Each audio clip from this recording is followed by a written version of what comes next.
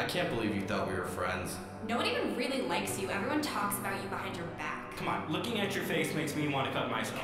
God, who does your makeup? A Clearly, you're gonna be a stripper when you grow up. My boyfriend would never touch you. You're disgusting. No one likes you, loser, whore. You were Idiot. proud.